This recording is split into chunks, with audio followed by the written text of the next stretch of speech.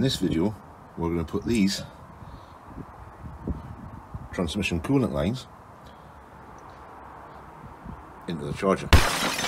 We're starting by fitting a pipe that doesn't actually fit. Um, anyways, on with the video. And just before I get into the pipe that I'm going to fit, that doesn't fit, and why it doesn't fit.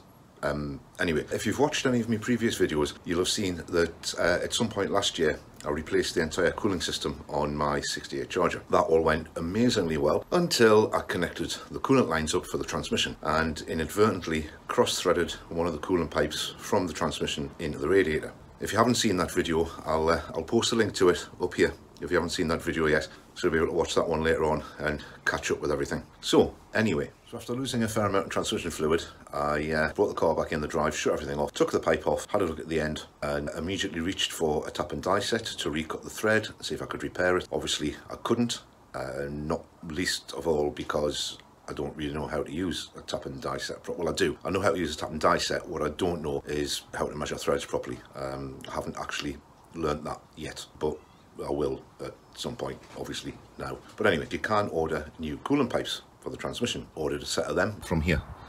Inline tube, brake and plumbing products over in the USA. And they arrived absolutely fine, no problem at all, until I went to fit them on the car. Now, I only needed to do one, so I was going to keep one as a spare because there's no point in changing two if you don't need to. But once I was under the car, I realised that the one that I had cross-threaded that needed changing was actually a good 8 to 9 inches shorter than the one that was supplied in the box from Inline Tube, which does tend to cause a bit of an issue. So anyway, having a look at it, my charger transmission is actually piped up differently to the way it shows you as how they should be piped up in the original workshop manual. I'll show you what I mean. As you can see in this photo, the two transmission lines going from the gearbox to the radiator. The one that I've shaded in in black is the one that I need to change. On the photograph, it actually shows the line goes from the frontmost connection on the gearbox along to the right hand side of the radiator as you look at the car from the front. On my car, it's the other way around. So the obvious idea would have been to take both pipes off and change both pipes. However, what I decided to do instead was just change the pipe that I actually need to change to get the car back on the road and um, cut the new pipe and the old pipe and try and make one pipe long enough from the two, which I think I've managed to do. There it is. So that pipe there that has to come out. So we'll take that one out. As you can see, the pipe's disconnected now. So all I've got to do is work out a way to get that pipe out from under the car and then put the new one in. And hopefully you can see where it bolts onto well that's the old pipe out. You can see the length of it and different shapes. So now it's just a case of putting the new one in in its place. And because the pipe doesn't fit I've cut them up into pieces. And what I'll do is I'll join them and then I'll put them under the car, connect them to the gearbox, and at least I'll get the one replaced that needs replacing. So all I've done is cut the new pipe here. That's the remainder of the new pipe, so you can see how much shorter it is than I needed it to be. And then I also cut off this length of pipe here, mostly because I noticed there's a slight leak coming from around there on the pipe which I didn't want to have left in so it was leaking anyway so I've cut that off. And obviously I cut that end off originally because that's the end that was uh, cross-threaded and actually made a, a complete mess of inside so we don't need that bit.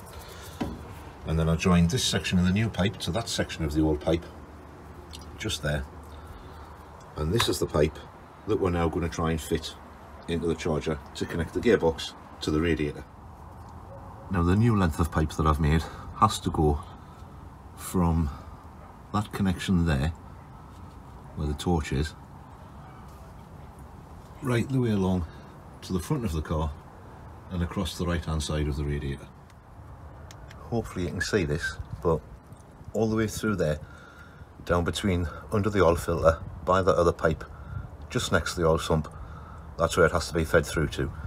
You can just see a bit of daylight so the pipe's got to be fed through there. That's the pipe in place.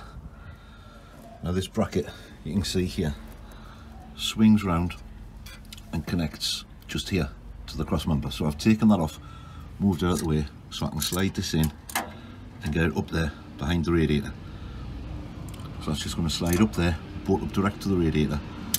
I need two hands to do that, so I'll come back to you when that's all back connected up and this bracket's bolted in as well. If you can see all the way down there, that's the pipe in, connected to the radiator.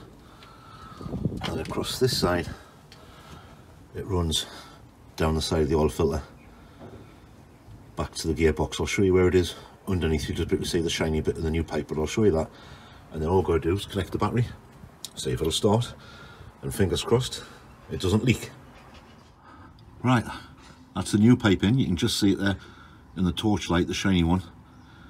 So that's the pipe in. I fired the car up already. There's no leaks. So uh, we just need to check all the fluids and all the wires and cables and everything. Make sure everything's all right before we take it out on the road. So that's that one done, guys. It's in, it's done. She runs, there's no leaks. If you haven't seen the previous video about the charger, where I put the new cooling system in about a year ago now, have a look at that one and you'll see why I had to do uh, the new cooling pipe on this one. So I'll leave a link to that one in the description and I'll leave it up at the end of the video as the next one for you to watch. I really recommend you having a look at that one. Still got stickers available if you want one. I'll leave a link in the description as to how you can get one. Patreon there as well. If you enjoyed this video, leave it a like, give us a comment below, subscribe to the channel. Thanks for watching. Hope you enjoyed it. See you in the next one. Bye for now.